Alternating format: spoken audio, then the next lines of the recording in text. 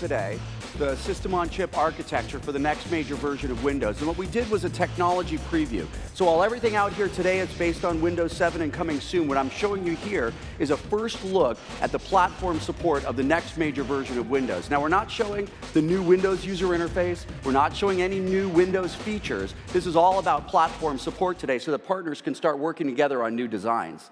I'm going to start with an Intel system.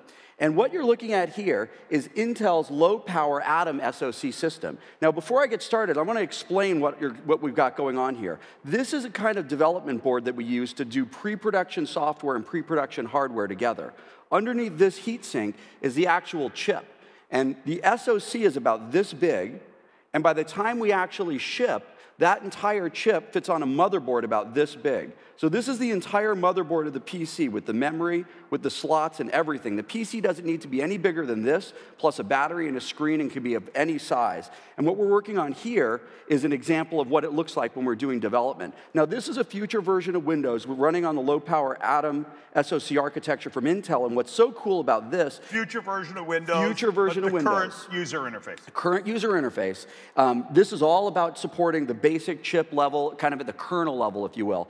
Um, the thing that makes the Intel platform really interesting is the compatibility with all of the existing software and hardware applications that run on Windows today. So what I'm showing you here is a version of Quicken that I just got from the store.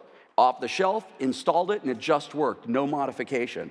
The same thing is true when I plug in this Windows 7 phone. You can plug in a camera, printer, anything that works on Windows works right out of the box here. And so a really high level of compatibility, you can see it recognizes the phone and it's gonna start syncing.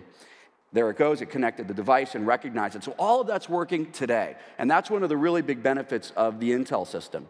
We've also announced today partnerships with three more partners that are making ARM-based systems. And I'm gonna show you Windows, real Windows client running on ARM. So this is Qualcomm's ARM system called Snapdragon. And this is the Windows client running on ARM. I can pull up the command prompt and show you the version string for the kind of people that track that sort of thing. Uh, just to show that it's real, I've got desktop pinning, I've got accessories launching. You can see I can open my photo library, I've got customization, I can change my desktop background. What I'm showing you here is the Windows desktop up and running live on an ARM system. And that's really the first time. This isn't virtualization, this is Windows running natively on ARM. We're also working with Texas Instruments. This is their ARM platform called OMAP. And what I'm going to show here is an example of how hardware and software applications can work. So I'm going to launch Word and paste in some text and hit print. And what I did there is actually launched Word. That's Word running on ARM. So this is a build of Word that we recompiled to be a native ARM application. And you saw it launch. You saw that I pasted in some text. And what I have down below me is an off-the-shelf printer from Epson. It's a USB printer. And what we did with them is we recompiled the ARM driver. We recompiled the print driver to run natively on ARM. And in just a moment, you can see that it prints.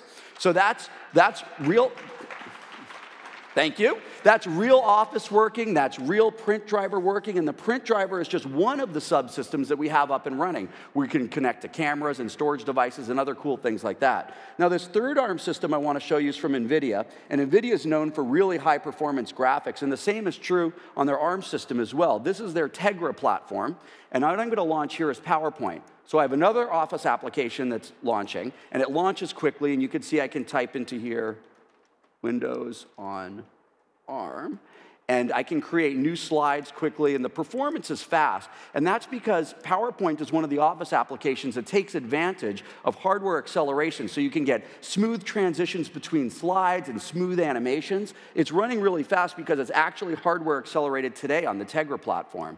I also can show you another application that's using hardware acceleration, uh, a next version of IE. So here's Internet Explorer with an HTML5 demo, so you can see how smooth and responsive spinning these pictures around is, and you can see how quickly it responds to the mouse. This is all because the graphics is being processed on the GPU on the ARM chip itself. And performance is really important, especially for things like video. So I'm going to launch the Iron Man trailer, and I'm launching this in HD. This is full HD output, and what you're going to see is smooth, fast-playing video.